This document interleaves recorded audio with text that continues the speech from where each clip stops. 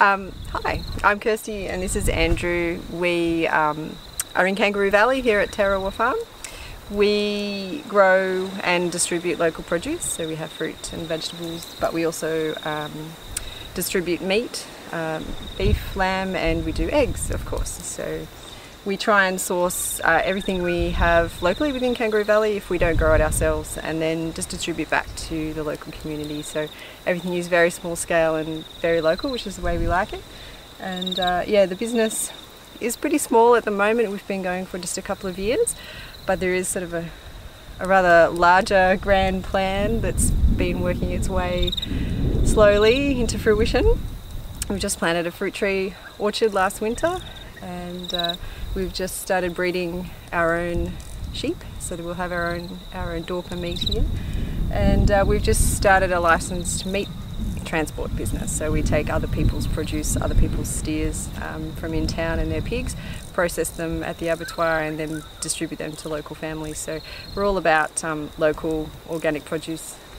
Any way we can find it and distribute it. So uh, we bought our chicken caravan three years ago, Three years ago yeah. uh, to add eggs to our repertoire, but more importantly to um, improve our soils. So that's one of the main focuses that we have here. Is we have a, a 10 year maybe 15 year plan to rehabilitate the land that we found. So, you know, we're very big on biodiversity. Any any kind of diversity we can, you know, through even diversity of pasture, diversity of crops in the market garden, diversity of animals that are grazing our land, it makes it um, much easier to bring things back into a natural balance and having the chickens on pasture was a big part of that and something that we want to increase because of the amazing fertility that they provide.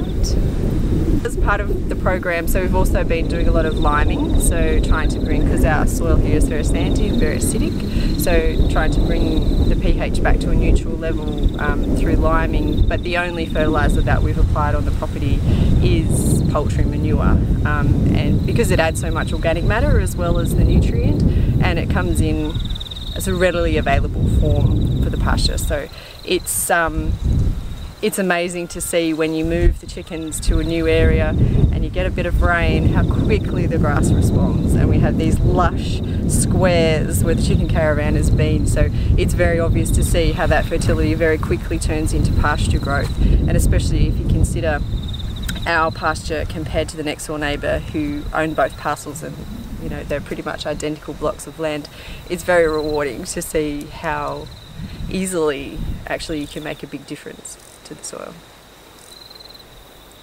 Awesome.